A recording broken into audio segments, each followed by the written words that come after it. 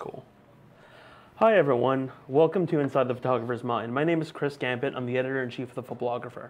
For the past nine years, we've been working really hard to bring you guys some of the best reviews, tutorials, features, and interviews in the photo space on the web. This show is an extension of those interviews where we take the photographers that we've been working with and we find a way to make it a little bit more interpersonal and a lot more candid than we've framed online. And today, for our, yeah, we've been doing the show for around one year now. For our one year show, we are interviewing Olympus visionary and photojournalist, photographer Frank Smith. Please welcome Frank with me. How you doing, Frank? Doing well, thanks, Chris. Appreciate that. Yeah. How was your commute in? It was easy peasy, so no problem. That sounds pretty awesome. Yeah. So let's get right into this. Talk to us about how you got into photography. Well, I have one person to blame, and that's my grandfather. Uh, as a young boy, he uh, he was a photographer himself, and I would emulate him no matter where he went, whatever he did. I followed him, and in the process, I guess I'm learning about composition, light, and so forth. Uh, and he was a photographer here in New York, and uh, I would have to say he was the primary influence. So, do you come from a line of photographers? Like, was your dad a photographer as well too, or no? My dad was not a photographer. Oh, okay. Uh, he my must skip a generation because my dad had wanted nothing to do with it, and uh, my grandfather, like I said, he he did it all the time, and I just followed him wherever he went. That makes a whole lot of sense. So then, from what type of photography did he do? He did mostly studio work, and uh, you know, for the, it was called the, back in the day the New York Advertising Agency, and it was you know props and things like that that he would photograph for that organization. So, when you first got into it, what really got you hooked? Like, do you remember the specific image that you shot that was like, oh, this is really something I want to do with the rest of my life? Well, it's less about the image and more about the time that I was doing my own developing. And by magic, all of a sudden, I saw this image start to appear on a piece of paper that uh, just totally, you know, uh, jazzed me up to the extent that I said, I want to do more of this. So that was probably one of the pivotal events in my life that got me interested in this. And then, I mean, he did street studio photography, but then you have been doing photojournalism work and landscape work and all that. I mean, that's quite a change because, I mean, with studio photography, you have a lot of control over everything versus photojournalism, it's like you're sort of adapting. Yes. So, I mean, your mind when it came to doing photojournalistic work, uh, what made you want to do that versus the studio type of work that you were so used to seeing? Well, I guess at the time I didn't know what my grandfather shot uh, for professional because where I shot with him was on family vacations and things like that. So my environment when I was with my grandfather was always outdoors somewhere as opposed to what he actually did. So I never had the benefit while I was young knowing specifically what he actually did for a living. Ah, that makes a whole lot So I melded my own, you know, just based on, you know, some of those trials and errors. Yeah. So then, every photographer, when they're first starting out, they're usually like enamored with someone's work and they try to emulate it quite a bit. And I mean, you started with your grandfather, but what other photographers do you feel really influenced you?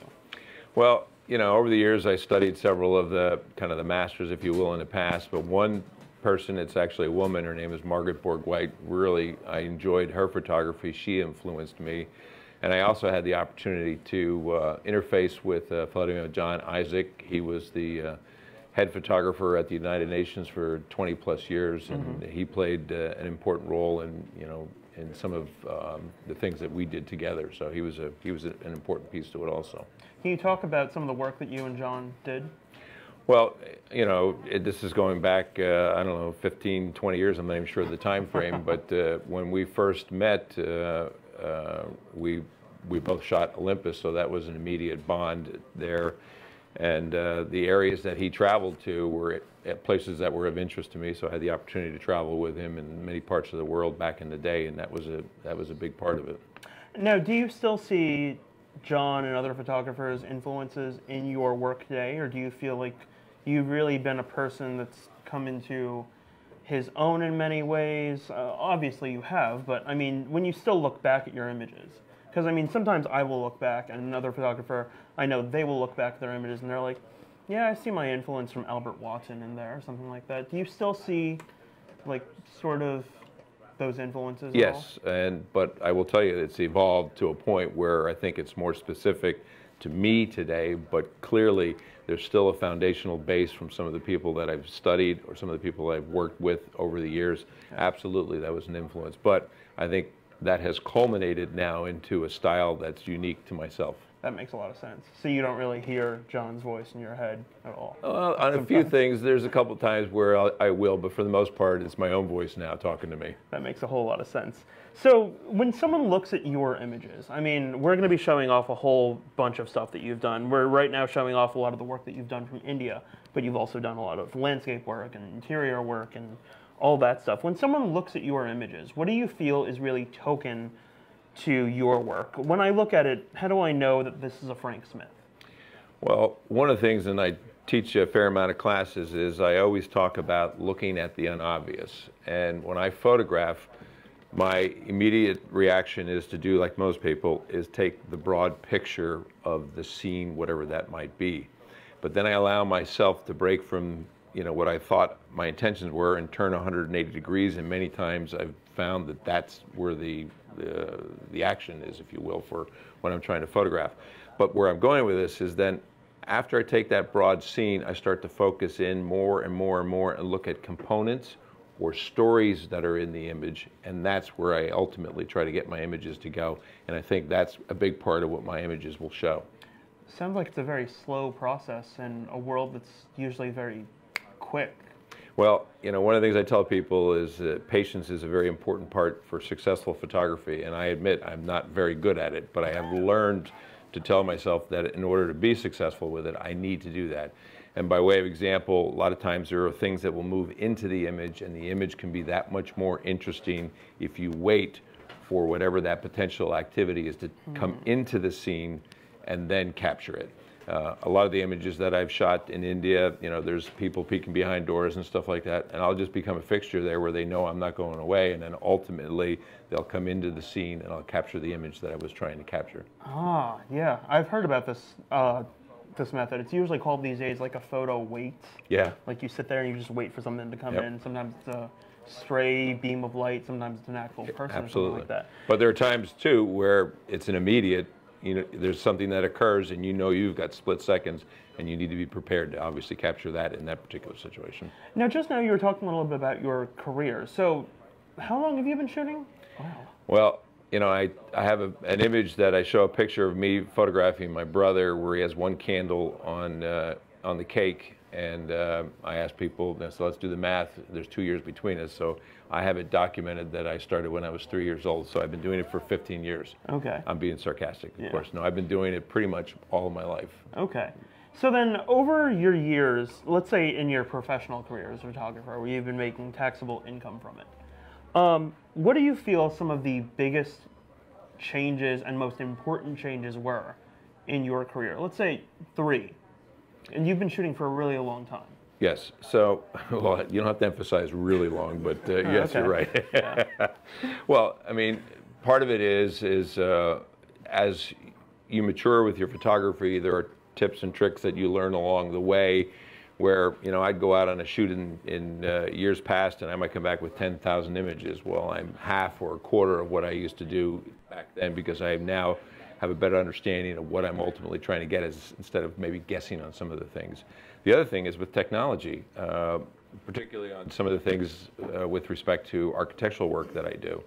And with that, I used to have to carry a much bigger, you know, cadre of uh, equipment where today, because of technology, I'm, I have a greater dynamic range. I have smaller light options available to me where I can get things on an interior in an easier fashion than I would have been able to do many years ago.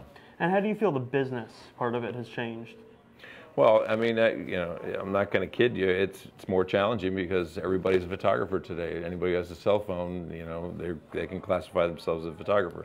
So I think it's important for us as photographers to rise above that and really show the importance of what it is by proper composition, using again the, today's technology. And there's a reason why our imagery is important as compared to the person just taking the cell phone shot. And it's fantastic that you're saying that because my next question is really something that I ask every photographer. It's really about I have this idea that every photographer, you're either a person that documents or you're a person that creates. And the people that document are usually ones that passively just take a photo, let's say of this camera or my coffee, and I'm going to post it to Instagram and I'll probably get like a thousand likes or something like that.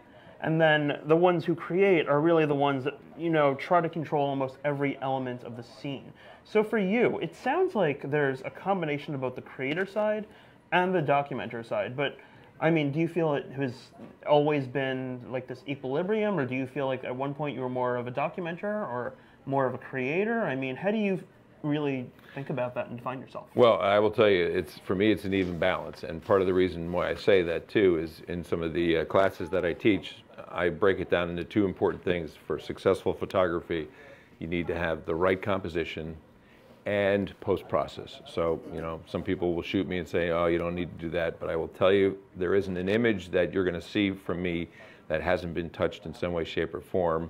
Again, it could be a simple thing of uh, taking a coffee cup out that I forgot in, in an image, but, uh, you know, there's a, the compositional part of it, and then the creative part of it also melds into the post-processing part of it. So it, to me, it's a combination of those uh, pieces that need to make it successful. That makes a lot of sense.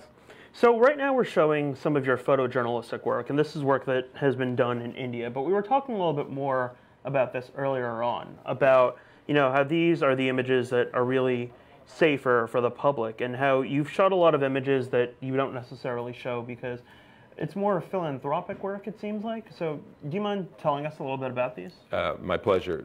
I do what's called philanthropic photojournalistic work. And a lot of my clients uh, are, you know, dealing with some very challenging uh, types of situations. Uh, and in some cases, uh, I'm working with a client that uh, is trying to bring more awareness to the sex trade problem. Well, those are images that I'm not going to share with the general public. They're specific for the client.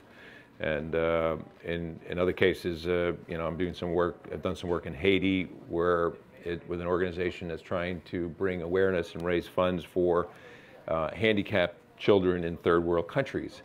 And in those cases, you know, it's, I'm not sharing those images that's client specific. Uh, but in situations where that exists, you know, it's always a challenge because where they're successful, they're raising money, they're making inroads, but then you have a country that doesn't have anything that's handicap accessible, so there's challenges associated with that. Uh, I've done work in Africa uh, with an organization called ALARM where it has to do with the reconciliation efforts that those countries are still trying to mend. And uh, in, and in some cases that has brought me some opportunities to shoot some other things with uh, the uh, situation in Africa. They had asked me to come over during a time in which South Sudan was going to secede from the north and they said, would you like us to schedule this during that occurrence? it took me a nanosecond to say yes to that. And uh, I was allowed to be one of two photographers to photograph the birth of a nation. So for me, it was an experience that was just unbelievable. And I'm this close to the commissioners, the generals, and everything. And uh, quick sidebar to that, though, they said the day before, make sure you dress like a photographer. I had no clue what that meant, but anyway, I understood the next day because they had to do a selection process, and part of it was, I guess, the way we were going to look. And they allowed me and one other fellow. They said, he's an American photojournalist. You let him in here, and they gave me full access to the parade grounds and everything. It was a wait, amazing wait, hold experience. on, back up. So, how did you dress? Was there like full photo vest and like hat like this? Well, I didn't have the hat like that, right, but I have to tell you, I pulled every white balance card I had out, wore it around my neck, and I thought, well, whatever the definition of what a photographer looks like, I'm hoping this fits the bill. But something must have worked because they let me in. Did you have like seven cameras around your neck and like I did have tripods? I yes! did have multiple cameras, yeah. even though I didn't use them dur during the uh, the shoot. But uh, yes, that's what I did. That's pretty awesome. Yeah. So I was originally going to ask you about travel photography because a lot of these days, what you see with travel photography, the conversation is really about it being invigorating and a great experience and enlightening. But for you, it sounds like there's some goodwill behind it, mm -hmm. and it seems like there always has been this organic goodwill behind it. Um, so when you take these assignments, have you ever turned anything down because you didn't necessarily feel it was something that you wanted to do, or I mean, well, I think most of the people that know me within that realm know what I shoot and know the type of work that I do. So nobody's ever asked me a question where I felt uncomfortable doing something for them. So I've not had that experience. I've not had to turn anybody down. But again, I think it's because of people knowing what I do.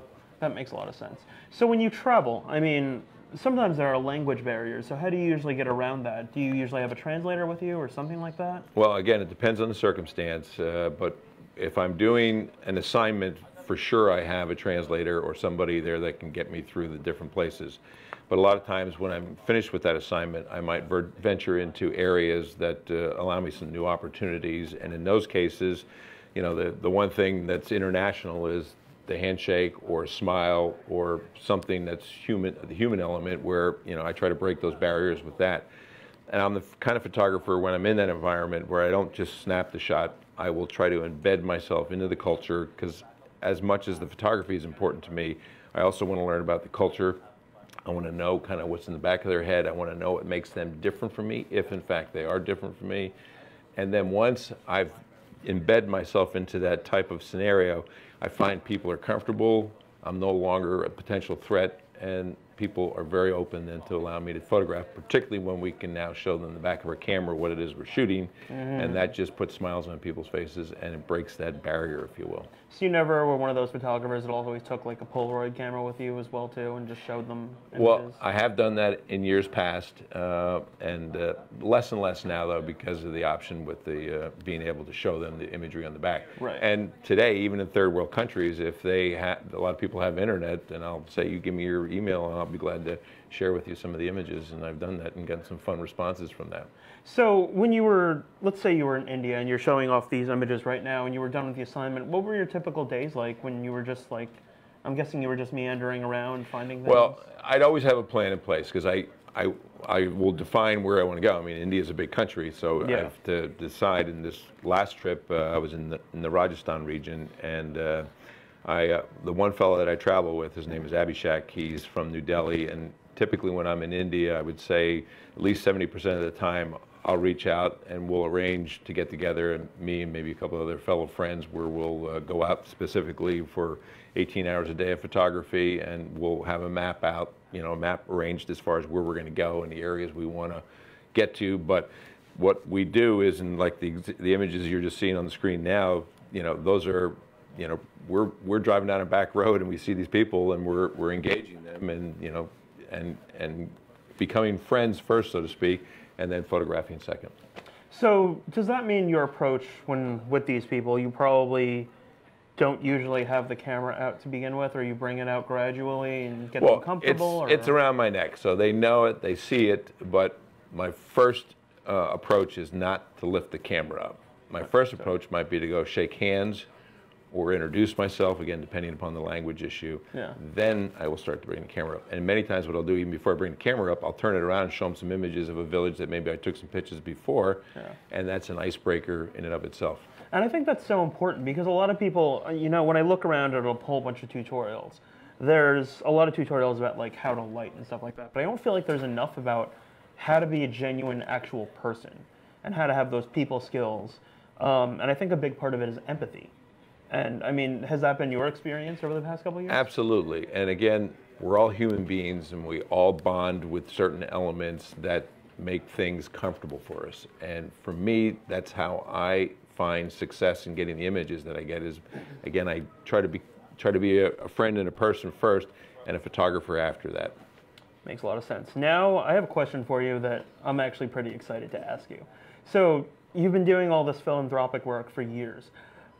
Tell me about one of the scariest moments that you had as a travel photographer and a photojournalist in these regions. Well, uh, one of those was I've never been in a brothel before, and I mentioned that one of the agencies I work for has to deal with the sex trade, and I was actually in a brothel in a very dark part of uh, Delhi, and it was probably the scariest thing I've ever done. And scary just not from the standpoint of the potential implications to me, but these women that were bold enough to allow me to photograph them, their punishment is not a whack on the knuckles if they got caught, it was death. So this was some, some serious stuff. This was very, very challenging. And again, it was one of those where you know, you had to be smart about what you were doing. You had to be looking over your shoulder all the time. Mm. But uh, I would say that probably goes in the book as one of the most scariest moments I've had. Oh wow! I mean, well, obviously this must have been very difficult because one, there's language barriers, and two, there's so many sensitive things that you know you're trying to take photos of and all that. I mean, I'm guessing in a situation like that, you didn't necessarily have the camera around your neck. No, I had it in my hand, and you know the good news for me is I shoot the Olympus system, and it's a smaller, compact system, so I'm not scaring people away with that. It's obvious to them that I had it because you know I this was with an interpreter and somebody was able to help me. Yeah. We made arrangements to come in. I just isn't, wasn't going to just walk in off the street, uh, and there was an intent and a purpose, and that you know we tried to map that out as best as we could. But anyway, you try and plan something like that, that's still a scary situation. Absolutely. And we'll talk about your camera system a little bit later, but what are some things that you always have in your travel bag whenever you go about on these assignments? well, one of the things is uh, Imodium. Imodium? that makes a lot of sense. Uh, and uh, a Z-Pak because a lot of times I'm traveling in areas where um, the, uh, let's just say the sanitary conditions are a little different than what we're used to here. And I've gotten sick many times and I've learned that uh, that's probably one of the most important pieces of, uh, not equipment, but that's one of the most important things in my bag that I need to have with me. Makes a lot of sense. So right now we're transitioning into another, uh, I guess, field that you shoot. Um, no pun intended, but it's about landscape work and a little bit about interiors and all that stuff. So for you, I mean, for me, a part of my job is testing cameras and lenses all the time, and no matter how many times I go to different places, sometimes I feel like landscape photography with the exception of the light and the weather, it, sometimes it can become monotonous, and that's how I feel. But for you, how do you feel you try to keep your landscape photography fresh? Well, I uh, I try to look at things differently, and it's interesting. Some of the ways that I've discovered opportunities with my landscape work is just by having my camera over my shoulder and looking down at the screen, and I notice something that it's fo- focused on or pointing to, and I realize that there's something that's kind of unique that I might not have seen otherwise. And so for me, as I said earlier on, is I like I'll photograph the big picture, but then I allow my mind to wander around into different parts of the scenes, and it's almost like um, you know I'm I'm I'm on a, on a gold uh, hunt, uh, if you will, where I'm looking for these nuggets to show up in different places, and that's where I find a lot of the magic is just by breaking away from the norm and starting to focus in or moving in on different subjects. And it's really interesting too because we were also talking about technology and how it's changed over the years. And I think that, you know, in some ways that's really fundamental to photography. Like, for example, Olympus has all these art filters. Um, and there's been panoramic uh, abilities that have been built into cameras over the years. Do you ever sit around and just mess around with those just for fun? Absolutely, and you know one of the uh, workshops I just did uh, in in in uh, Arbor, I said to the folks that were in a class that had this this equipment or even other equipment is there's an art mode and it allows you to bracket where you can see 10, 20 different types of results with one hit of the shutter button, and people were blown away because it does all these different things. And I think that gets people jazzed up to think, well, wait a minute, maybe I should be looking at this if it was a black and white, or maybe I should be looking at this, uh, you know, with uh, you know a different vignette or something like that. Yeah. And it's amazing what the cameras today can provide in that, and it gives us a new opportunity to kind of get our juices flowing that we might not have seen in another way. How many people just stuck the camera in grainy black and white mode? Well, a lot of people. I was about to say. yeah. Absolutely, We do that on press trips all the time. Yes, yeah, absolutely. it's beautiful. Um, so, for your landscape photography, a lot of landscape photographers they draw influences from painters and from other uh, works of art. Do you feel like you drew those influences from other places as well? Yes, I mean, uh, if when I and I get to travel a fair amount, and when I'm in a, a different country or whatever, if there's a museum, I'm typically going to going to go in there and I want to see works of other people, and you know some of the you know some of the influencers I think in that regard are some of the you know the well-known painters you know from years past. Uh, you know, I, I find myself you know probably being influenced by that with the colors and composition.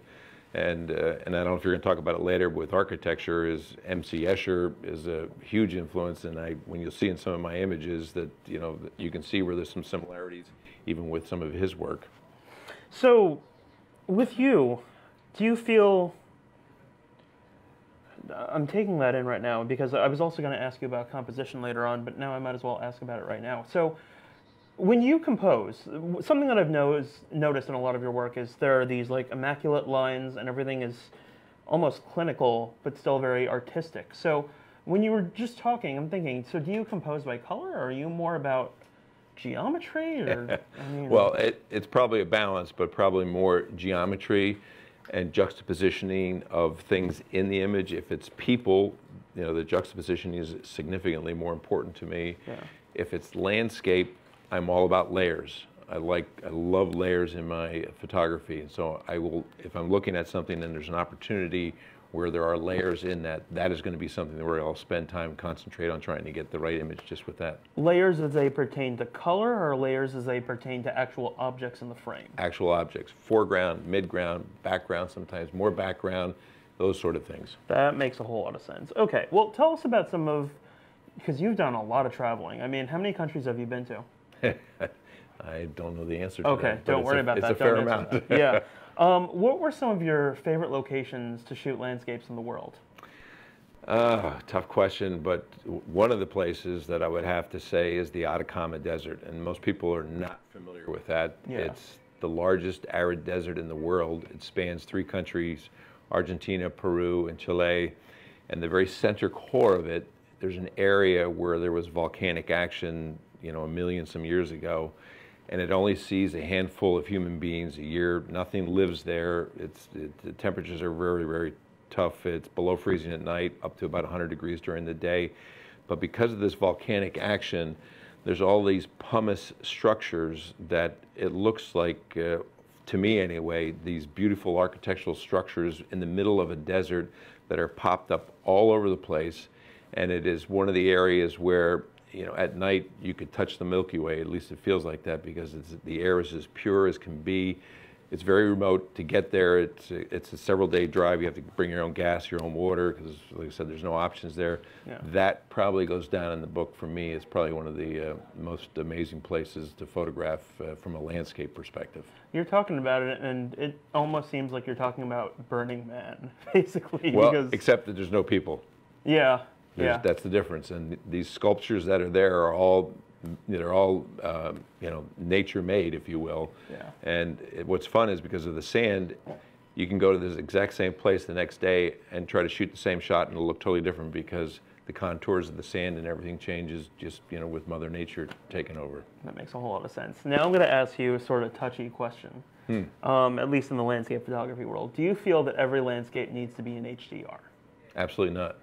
Go ahead and explain why. Well, I think again we have tools available to us today, and a lot of it depends on where you are and what time of the day you're there. I mean, if you're if you're shooting a landscape and it's your only opportunity, and it's at high noon, and the sun's as bright as can be, you know, you may not have a choice but to uh, shoot it with uh, uh, in HDR in mind because the dynamic range there isn't a camera made that can capture the full dynamic range of that where you've got shadows and highlights and the only way you're going to do that is either with HDR or manually create that where you're you know you you mask it out and bring in you know the the things that the human eye sees uh, from again the highlight and the shadow perspective. So when you go ahead and you create a lot of these scenes, what are some questions that you feel you're constantly asking yourself before you even push the shutter? Well, again, composition, uh, you know, and dynamic range. Is there enough dynamic range, you know, or do I need to take multiple images? Uh, but for me, it comes. It, the basic thing is it comes down to composition, and that's what I'm trying to achieve.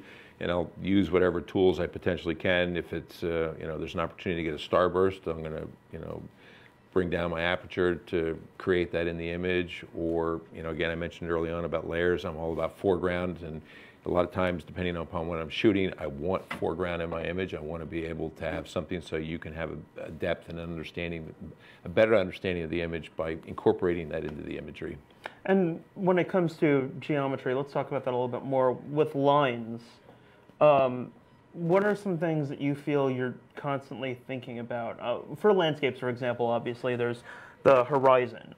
But I mean, with buildings, you know, it seems like you're really about making sure all of these things are in the frames at just the right places. And the way I'm thinking about you working is really just moving around a whole lot. Yeah, my feet are what helps me create my image, and that's I will move back and forth multiple times till I find the right composition. But in a landscape scenario, I will try to find where there's opportunities a frame, a natural frame. uh, or again, something in the foreground, uh, depending upon what that image is. Um, in one of the earlier images we showed, there was uh, uh in uh, Leh and Ladakh, uh, in the northernmost part of India, this beautiful Buddhist complex where there's water, there's lakes, there's the, the, the structure, there's mountains, there's skies, all of these layers again, and that, at least from my vantage point, I think helps to create a, a more interesting image.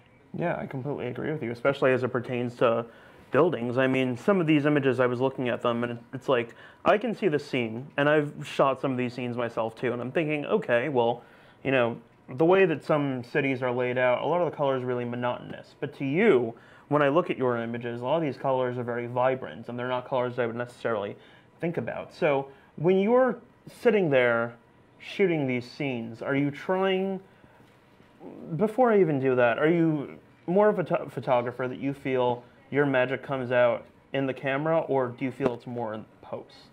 Well, I hate to give you the same answer I did before, but yeah. it's both. It's and both. Uh, what I have been doing lately, and this is, I teach a couple classes on architecture, and I push the limit. I totally push the limit because many of the clients that I have, they'll say, all right, I need these buildings photographed. And I ask them, I say, can we just be a little more adventurous, a little more avant-garde. And they're like, what do you mean? I said, just, you know, would you allow me some flexibility to look at these buildings differently? And there's usually hesitation. They say, well, yeah, but we still want the other stuff. And what I mean by that, you know, in true architectural photography, verticals need to be vertical, horizontals need to be horizontal. But I'm finding today more and more art departments, uh, marketing departments, if I present them some images that, you know, where it's a wide angle and it's totally incorrect from perspective, but yet it creates all this interest. And I present those images to the client, and nine times out of 10 now, they're taking the image that has incorrect perspective, but is much more interesting than the one where they said they needed the straight lines. And I think it's, you know, the, the way we, the world we're in today is allowing more opportunities because marketing departments are becoming, wanting to be more creative.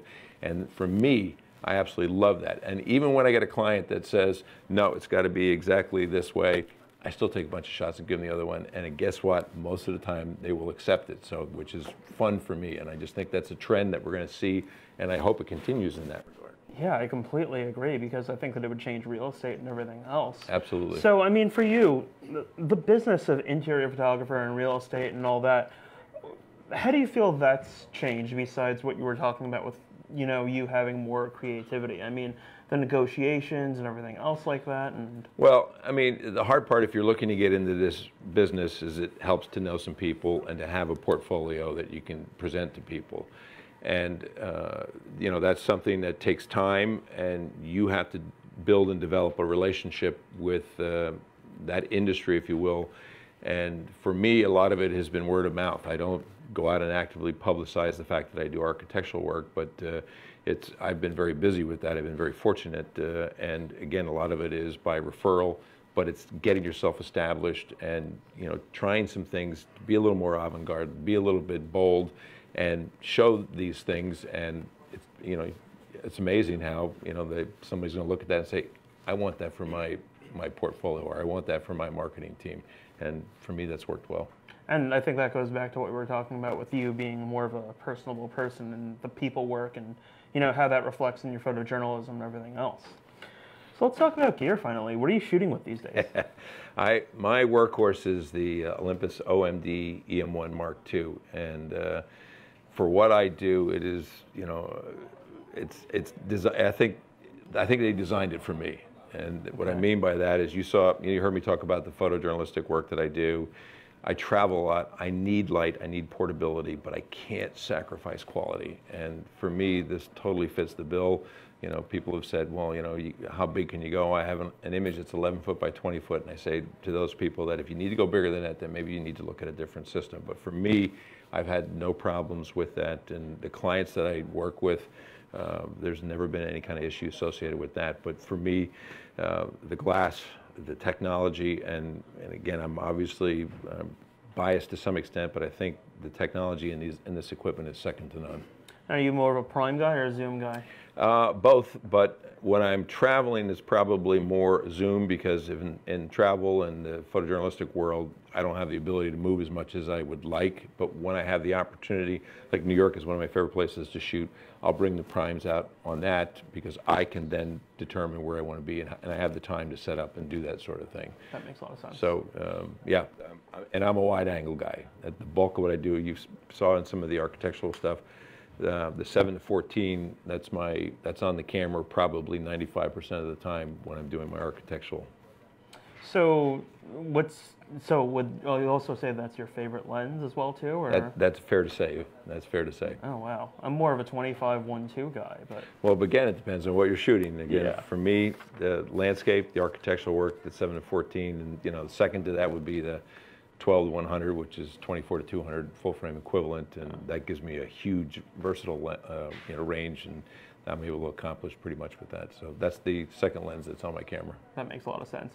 So let's talk about future, Frank. So first off, mm-hmm. creatively, where do you see yourself in a year, and how do you see your own work evolving? Well, you know, one of the things I try to do is never allow myself to say, "All right, done that. You know, it's it's over," and not think outside the box. I'm constantly trying to look at different ways to photograph things, changing focal lengths. Maybe what you know I've done differently. I did a series on uh, I was photographed underneath a bridge, and I showed the images uh, with different focal lengths, different post processing, and until the end, nobody knew it was the same bridge. And the point of that is that by allowing ourselves to break, you know, whatever mold we have and just be creative and move about and change things, you know, I want to continue to do that because for me, that really jazzes me up. That gets me going. That's my, you know, that's my sweet spot, and that's what I like to try to do. And business-wise, it's really fascinating because a lot of photojournalists usually end up shooting weddings on the side, but you haven't done that to my knowledge, have you? Been there, done that. Okay. and uh, and I respect people that uh, do that because that is very very hard work and but that's not that's not my thing. I uh, I I'm the areas that I concentrate on now. That's where I, I want to continue to do that and. Uh, I will leave the wedding arena to the people that uh, are specialists in that, and that's just, you know, that's a path that I'm not taking, That makes or not sense. going back to, I should say. Understood. Well, Frank, thank you so much for your time. My pleasure, Chris. Yes. It's been enjoyable. And thank you over here at Adorama for the event space. Thank you on Facebook. And uh, we will be back next month. Take care.